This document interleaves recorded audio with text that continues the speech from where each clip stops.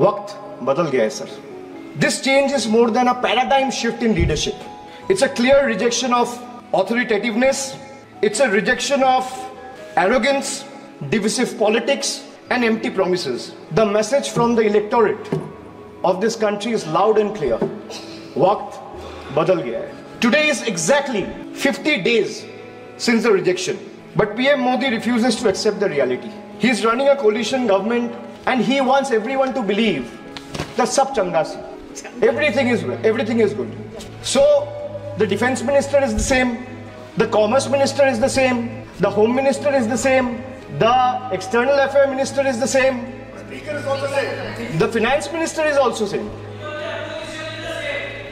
Sir, one thing has changed. I was sitting throughout when the budget was being read. Only the cheerleaders have gone down in numbers. वो bench बजाने वालों का थोड़ा number कमती हो गया है. The number of cheerleaders have gone down because the people of this country denied them an access to this temple of democracy.